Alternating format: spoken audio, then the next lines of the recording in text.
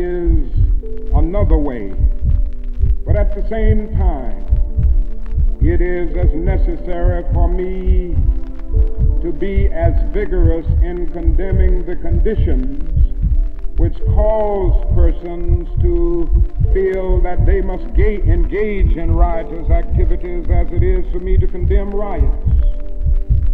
I think America must see riots do not develop out of thin air.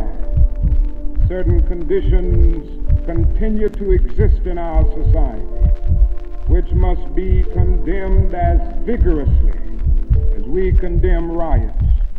In the final analysis, a riot is the language of the unheard.